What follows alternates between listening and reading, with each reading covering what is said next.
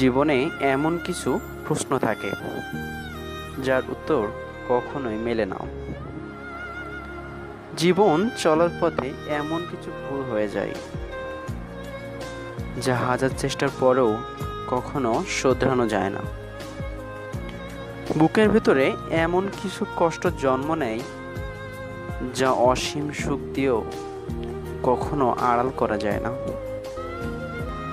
তেমনি প্রতিটি মানুষের জীবনে এমন একজন মানুষ আসে যে কখনো দূরে হারিয়ে গেলেও তাকে কখনোই ভুলে যাওয়া সম্ভব হয় না।